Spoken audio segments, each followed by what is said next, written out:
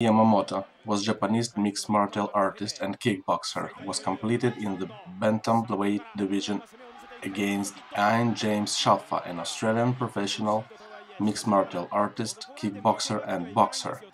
言っていました山本キッドどうするさあどうする距離を取っている距離を取っている飛び込むのはどちらかまだ打撃でいくのか、それともタックルに行くのかですね、はいキット選手のタックル早いですからね、えーさあ 右キッドの右が来た。踏み込んできた。ニュートラルコーナー。右を指しているこの山本キッド。膝が入る。イアン・シャファー。このシャファーもオーストラリアのレスリングで第3位になったという経験があります。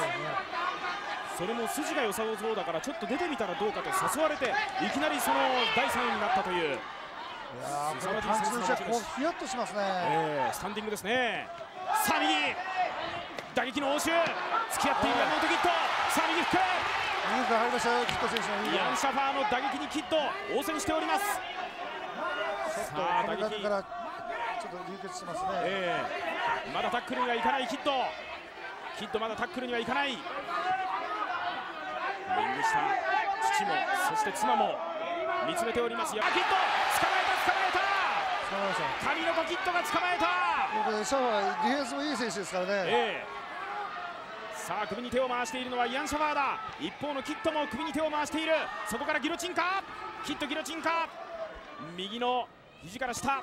腕をめり込ませようとしております。さあ上に取って。マウントポジションに行けるかどうか山本キッドもう一度覆いかぶさる。ガードはどうですか？ガードポジションは。いやディフェンスしっかりしてますよ。しっかりしてますよね。ね。ディフェンスもいい選手ですね、この間、宮田選手やったの見て、ですね、え。非常にガードも硬い選手だなと思ったんですけど、なるほどこの上から振り下ろしたパンチ。空を切りましたキッドさあ再びまもなく残りが1分となる。キッドがパンチを振り下ろす。あいいのパンチ落ちた。あとはやっぱりさあどうだ？キッド選手。が殴りに徹してますね。おっと腕を取られている。腕を取られている。うまく抜けるか。下からの体勢腕をうまく取りました。さあ腕が抜けた。抜きましたキッド赤コーナーのところ。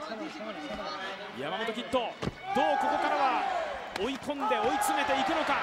拳を下ろす。横に回るか。これかなりダメージ与えますよさあパンチだ。キッドの拳2004年の1年間この K1 ワールドマックスでまさにその打撃のみのルールの中で自らを高めてきました。遠い周りからあの蹴りに合わせてパンチが飛んできますから、はい。気をつけた方がいいですね。え初田さん、はい。青コーナーキッドサイドですがお父さんからえー大きな声が飛んでいました。今のでいい倒せ気合だバッカバカにやってやるという声が飛んでいました。ーそうですか右のフックキッドの右フック一瞬グラッときたかシャワー。すでに右目は腫れている。イアン・シャワーだ。駒田アナウンサーでした。さあどうでしょう。左のローインロー。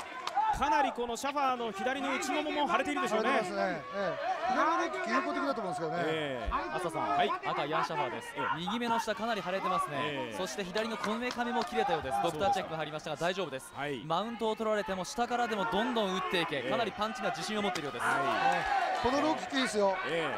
右目が腫れて見えてないですから、左の蹴りが合わせて見えないんだと思います。これ、ロッキーですね。る、こうなるとやっぱり船木さんかなりこう距離感がつかみづらい。そうですね。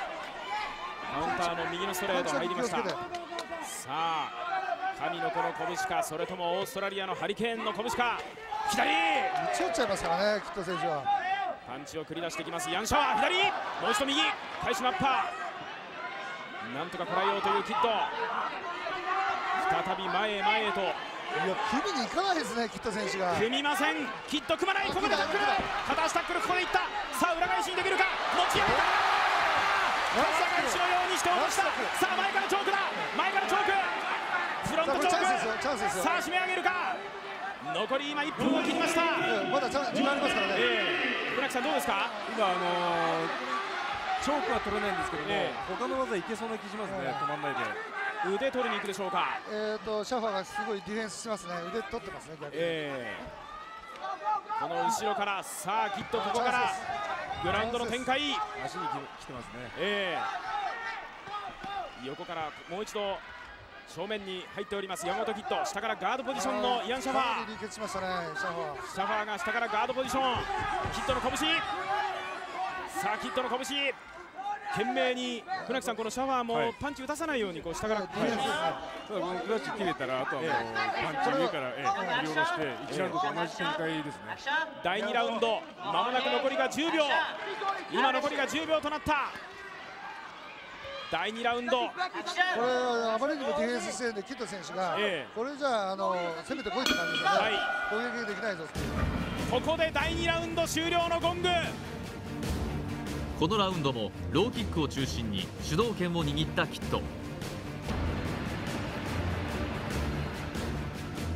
しかしシャファーの猛攻に危険な場面も終盤豪快な投げでグラウンドに持ち込むも攻めきれず試合はファイナルラウンドへ。